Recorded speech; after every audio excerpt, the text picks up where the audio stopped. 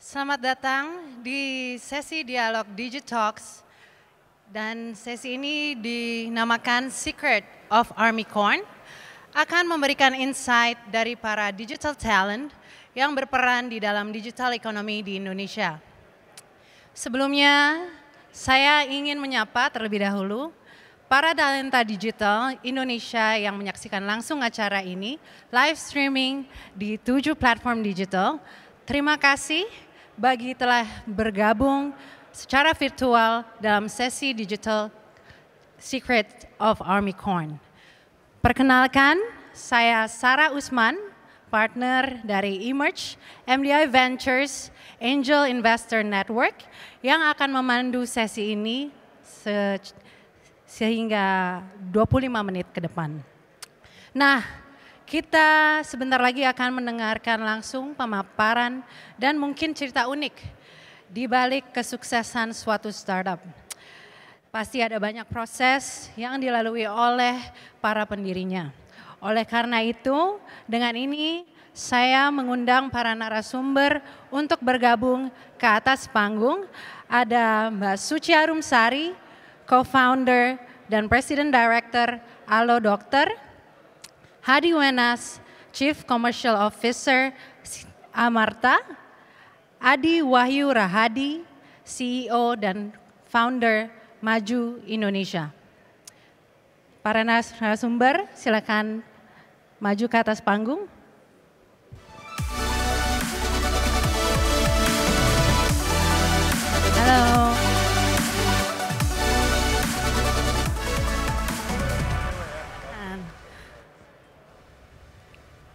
Selamat pagi. Apa kabar semuanya? Baik, sehat Baik. alhamdulillah. Baik, Selamat. alhamdulillah sehat. Terima kasih atas kehadirannya dan kita akan berbincang-bincang tentang success stories juga dari Maju, Alo Dokter dan juga Amarta. Siap. Oke, kalau gitu mungkin karena Mbak Suci wanita sendiri di Perempuan antara sendiri. tiga founder. Pertanyaan pertama aku akan kasih kepada Mbak Suci. Siap. Aku deg-degan nih jadinya. nih. Bagaimana boleh nggak diceritakan proses awal mendirikan Alo Dokter, meyakinkan konsumen, dokter, dan stakeholder lainnya? Oke, terima kasih sebelumnya pertanyaannya dan Assalamualaikum warahmatullahi wabarakatuh. Salam sejahtera bagi kita semuanya. Dan mungkin saya ingin menyapa buat teman-teman yang baik ada di offline maupun di online. Dan ingin berbagi Mbak, jadi berawal dari eh, sepengalaman pribadi saya, jadi suatu itu saya di diagnosa sebuah penyakit yang menyebabkan saya ini tidak bisa berjalan atau bisa dikatakan lumpuh sementara. Dan pada saat itu karena mobilitas yang sangat terbatas, nggak bisa ngapa-ngapain, hanya bisa rebahan aja, otomatis saya sangat rely on media sosial, terus juga internet, cari tahu nih sebenarnya apa sih yang terjadi eh, sama saya dan kenapa nih gitu. Padahal itu kan masih muda kan, jadi kayak stresnya itu benar-benar eh, tidak ketulungan deh pada saat itu. Nah di situ saya menyadari bahwa ternyata untuk menemukan informasi kesehatan yang tepat, menemukan informasi kesehatan yang dapat dipercaya dan tentunya kredibilitasnya juga juga harus terjaga itu sangat terbatas sekali. Sehingga di situ saya berpikir kalau misalkan saya sudah tidak bisa berjalan misalkan gitu kan pada saat itu karena stres duluan. Bayangin masih muda tiba-tiba aku nggak bisa jalan lumpuh beberapa bulan gitu kan. Di situ aku berpikir aku masih ada tangan aku masih ada kepala dan aku masih ada mulut untuk berbicara. Gimana nih caranya untuk ngebantu masyarakat Indonesia menemukan informasi kesehatan yang terbaik? Dan setidaknya tidak membuat kita itu jadi salah langkah mengenai kesehatan pada tahun 2014 saya mendirikan Alo Dokter yaitu dengan eh, memiliki sebuah informasi kesehatan yang tentunya itu harus sesuai dengan kekuatan medis dan juga bukti klinis yang teraktual.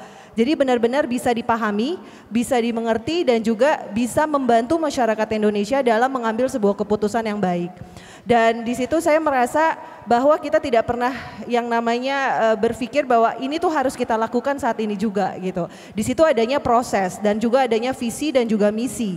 Visi dan misi dari Alo Dokter adalah kita ingin membantu masyarakat Indonesia itu untuk mengambil keputusan kesehatan dengan benar bukan sembarangan, bukan kata siapa dan bagaimana, tapi memang benar-benar sesuai dengan keunggulan medis yang ada. Dan di situlah ada peranan Alo Dokter dan saya yakin sekali dengan adanya visi dan misi yang kuat, komitmen yang kuat dan juga dijalankan dengan sepenuh hati, akhirnya para partner, para pengguna Alo Dokter dan juga para stakeholder yang terkait itu mau bersama-sama dengan Alo Dokter membangun sebuah bisnis atau membangun sebuah usaha untuk membuat Indonesia sehat secara digital.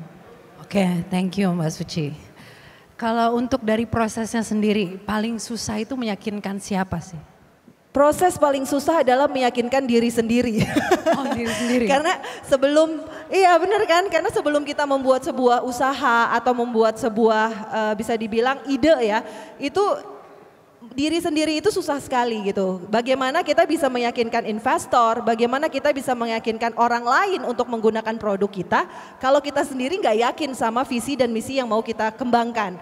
Kalau gimana kalau kita nggak yakin dengan apa sih sebenarnya yang bisa kita kerjakan. Karena saya yakin sekali nih mbak, kalau misalkan sebuah usaha apa pun itu pasti ada yang namanya proses kan. Nah proses itulah yang membuat kita tuh harus semakin kuat kita mau maju ke depan atau ke belakang seperti itu. Wah keren sekali Mbak Suci, thank you. Kalau gitu uh, pertanyaan selanjutnya saya tujukan kepada yang duduk sebelah saya. Karena lebih dekat lihatnya, maaf ya Mas Adi. Kalau dari Amarta sendiri nih, kan ini kan programnya mengajak banyak UMKM, terutama ibu-ibu gitu ya. Betul, iya. Nah, mama semua. Mama semua. Mama semua. Dan biasanya sangat sulit nih untuk adapsi teknologi. Nah, gitu ya. Iya kan biasanya kan mama gitu ya. Kalau ibu saya sih gitu ya. Gitu, oke, okay, yes, yes. Bapak nah, lebih sering ganti-ganti handphone ya. Iya kan. Bener juga. Ya, gimana sih caranya untuk meyakinkan biasanya uh, target konsumernya? Iya, uh, terima kasih uh, Mbak Sarah. Ya, pertanyaannya menarik ya. Jadi memang uh, Amarta itu uh, kita fintech P2P satu-satunya yang uh, bergerak dengan model Gramin. Uh, dan di sana uh, semua borrower kita atau peminjam kita itu adalah emak-emak. Uh, 100% emak-emak, 100% modal usaha, 100% di desa-desa. Jadi kalau di Jakarta itu nggak ada. Uh, Surabaya juga nggak ada. Jakarta paling dekat di uh, desa Ciseeng, Bogor. Kalau di Jogja paling dekat di Klaten gitu. Uh, kenapa emak-emak atau targetnya emak-emak uh, terlepas dari kegaptekannya gitu.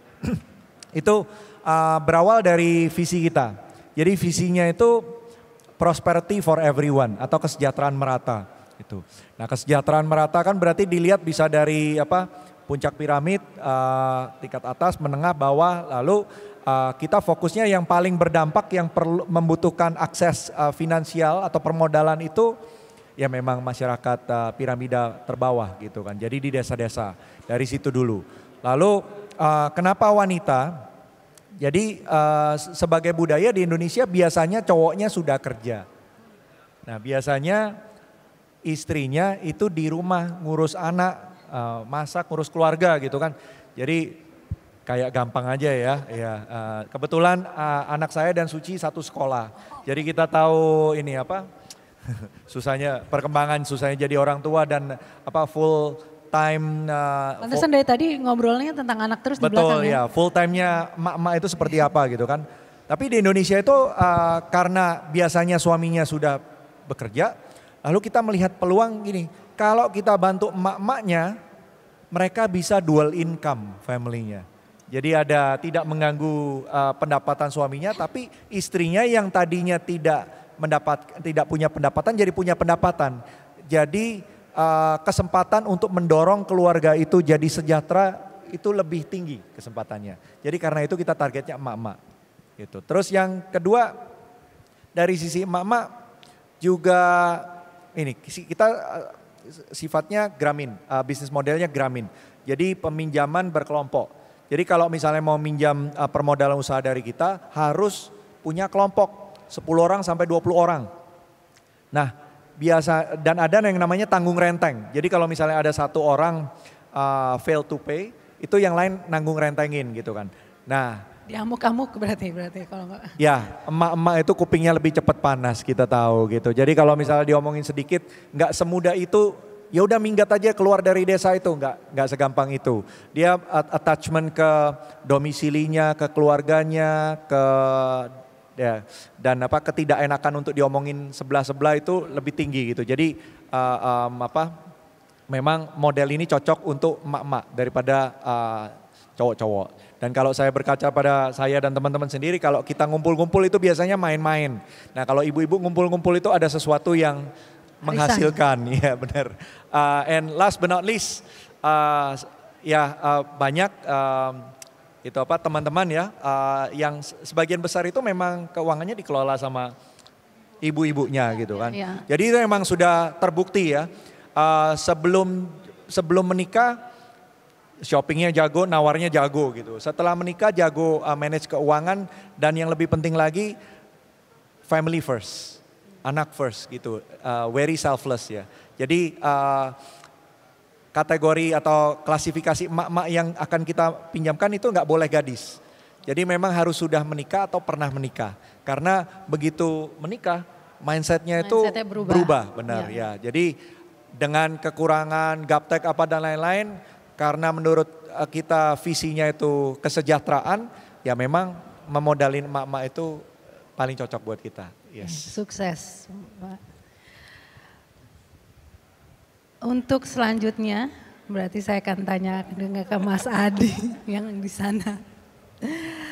Bagaimana nih Mas Adi untuk maju dapat memberikan solusi khususnya pada UMKM yang terjadi uh, yang menjadi target market maju? Iya, terima kasih pertanyaannya bagus banget. Jadi uh, awalnya sih kita sendiri tuh uh, dari founder co-founder tuh sebenarnya pelaku UKM juga gitu dari aku Audi gitu. Audi dulu juga punya uh, apa usaha F&B, terus kalau aku juga punya toko komputer tapi jualan hardware gitu ya. Nah dari situ kita tahu gitu kesulitan UKM Indonesia karena memang memang mereka komunitas kita semua gitu. Jadi biasanya itu kalau small business owner itu ngejalanin bisnisnya itu biasanya semuanya dijalanin sendiri gitu. Dari mulai ngelola penjualannya, uh, dia ngelola karyawannya, ngelola inventory, sampai bikin laporan keuangan tuh semuanya dia sendiri. Nah kalau uh, mereka itu nggak punya alat bantu untuk lebih apa ya manage operasional mereka, mereka pasti akan kesulitan ya. Uh, paling tidak harus nyiapin beberapa jam untuk nyatet gitu ya uh, penjualan.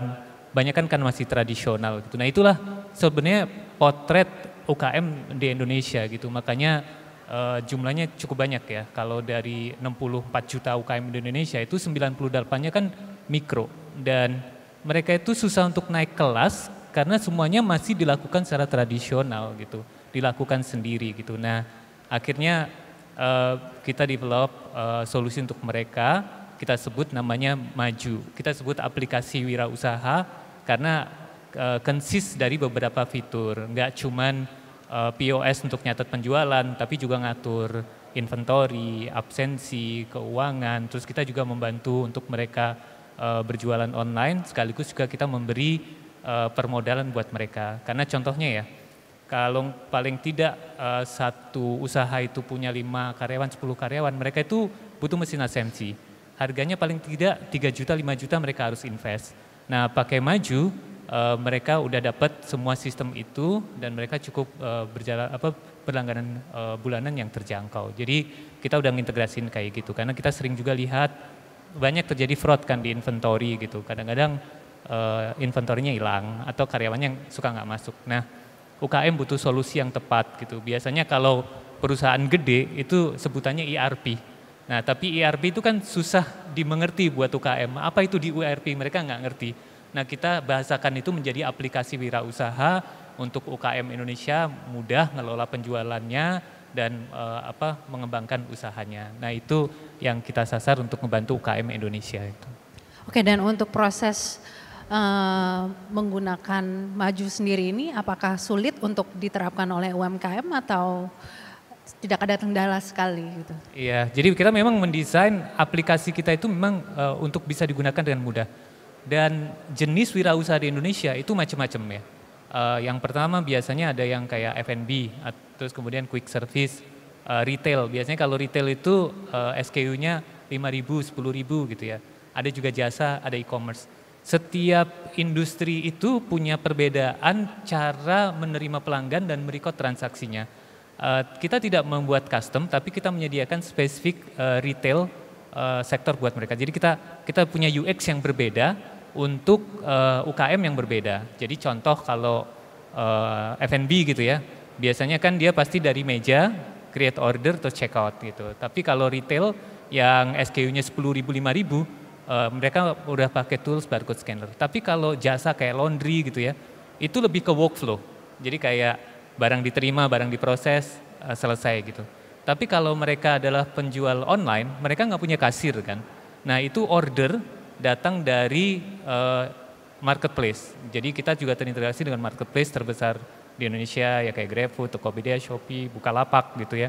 Jadi order masuk langsung terintegrasi dengan kita. Jadi kita setup untuk uh, retail yang berbeda dan mudah digunakan. Tapi kalau mereka butuh assistance, kita memang ada tim baik secara offline maupun online untuk siap membantu mereka 24 jam uh, di seluruh Indonesia. Karena user kita itu sekarang udah tersebar dari Sabang sampai Merauke di hampir 600 kota, kabupaten, dan kecamatan di Indonesia. Walaupun nggak ada tim support kita, mereka bisa menggunakan dengan sendirinya sih.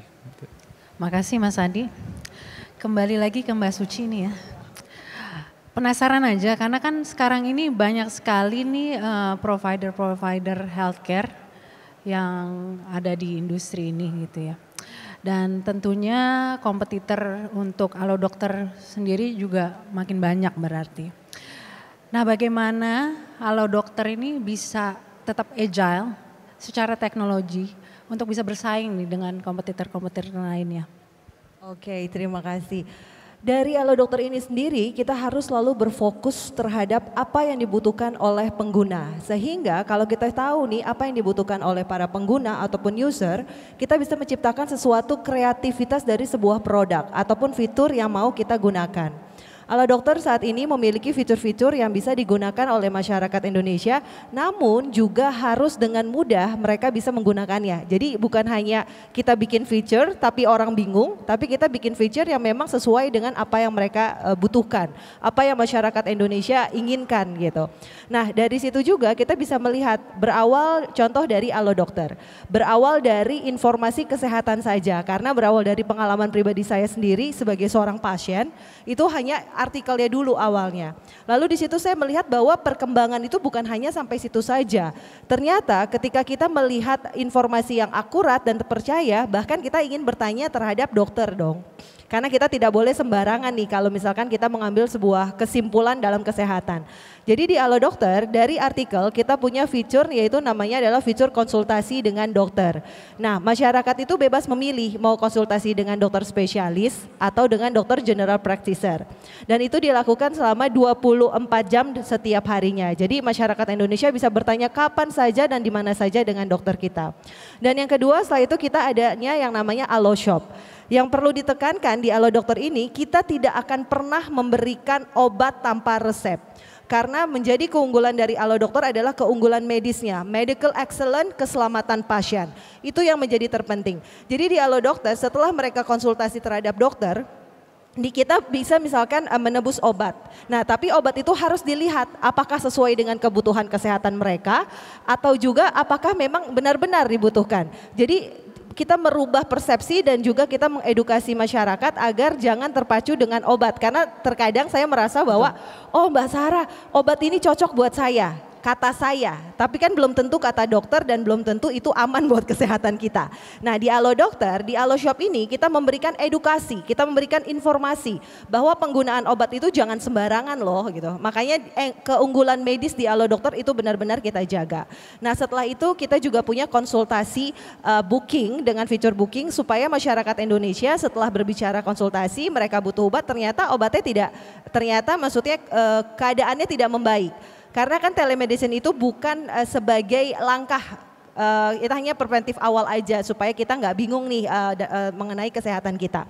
Nah di Alo Dokter kita punya uh, booking uh, yaitu adalah supaya masyarakat Indonesia bisa tahu nih ke rumah sakit mana ya gitu kan.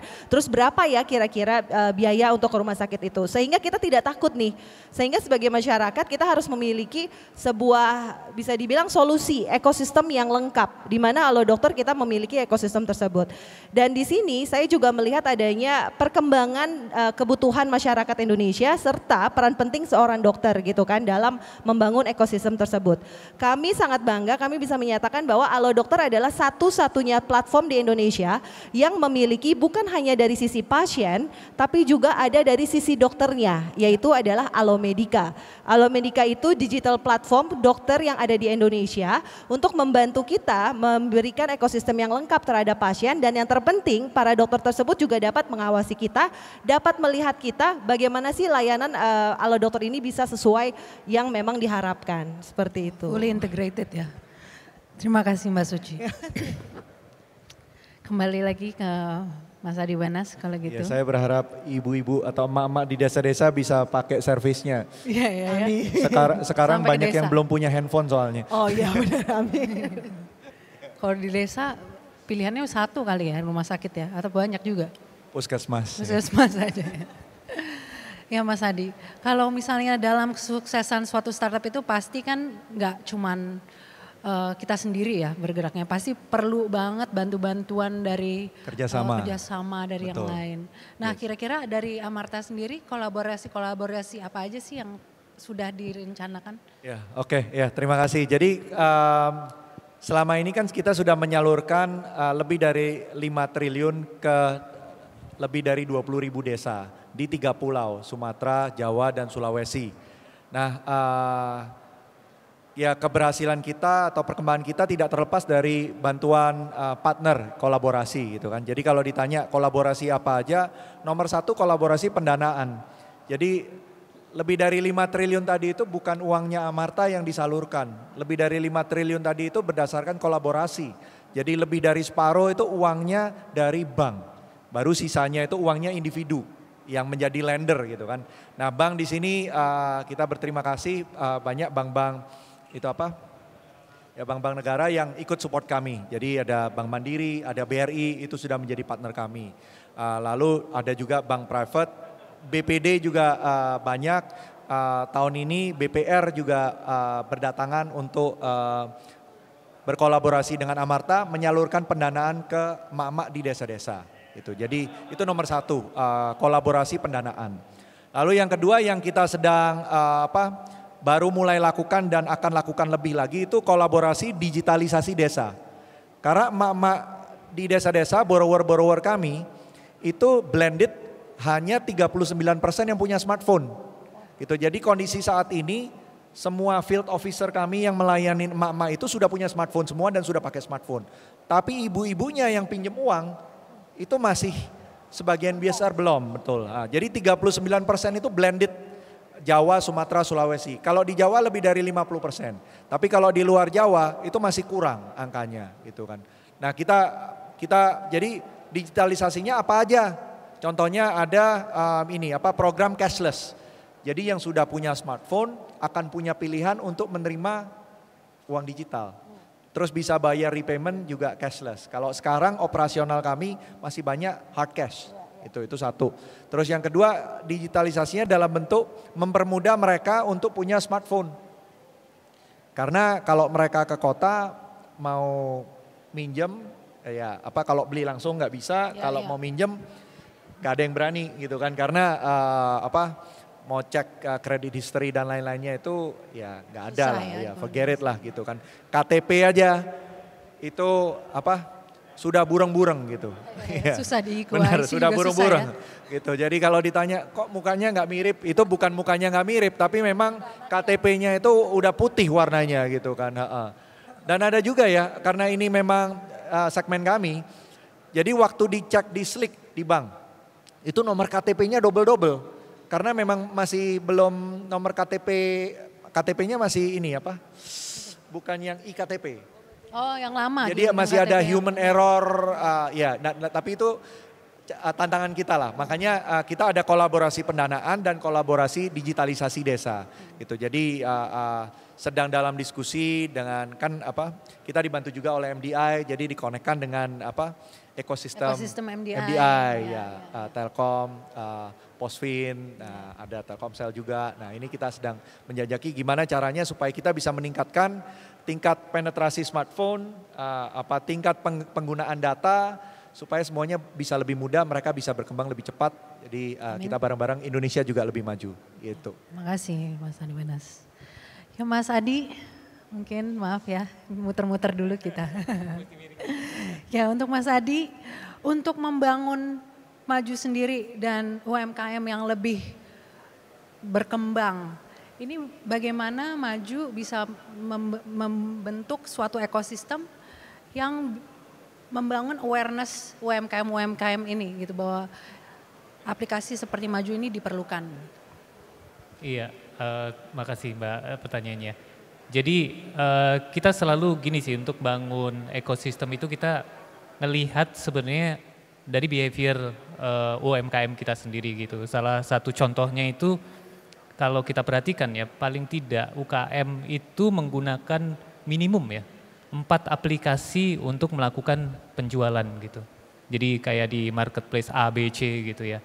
Nah itu akhirnya dia pasti ngalamin kesulitan gitu. Uh, karena dia repot banget gitu harus ngurusin customer yang datang dari store-nya, terus kemudian datang dari marketplace yang berbeda, gonta-ganti uh, aplikasinya. Nah itu merepotkan. Jadi uh, dalam membangun ekosistem di Maju sendiri, kita itu juga melihat salah satunya adalah uh, apa sih yang paling diperlukan buat mereka gitu. Nah akhirnya kita lihat yang terakhir adalah mereka itu uh, berjualan paling tidak menggunakan empat aplikasi berbeda. Nah itu kita integrasikan semuanya ke dalam uh, Maju gitu. Jadi mereka tidak perlu lagi membuka aplikasi yang lain, cukup dari Maju dan semua gitu ya contohnya inventorinya itu akan tersinkronisasi. Mereka punya satu data, satu laporan gitu. Nah itu yang selalu kita uh, apa uh, lihat dari kami. Jadi yang kita lakukan untuk ekosistem kita adalah selalu kita melakukan open ecosystem, tidak melakukan close ecosystem karena uh, itu yang sebenarnya paling diperlukan oleh UKM di Indonesia. Uh, dari situ kita ngembangin terus uh, apa aja yang mereka perlukan mbak untuk uh, untuk ngelakuin bisnisnya lebih bagus dan lebih naik kelas lagi gitu. Oke, makasih Mas Adi. Kalau begitu, penjelasan tadi sekaligus menjadi akhir dari sesi dialog Digitalks Secret of Army Corn.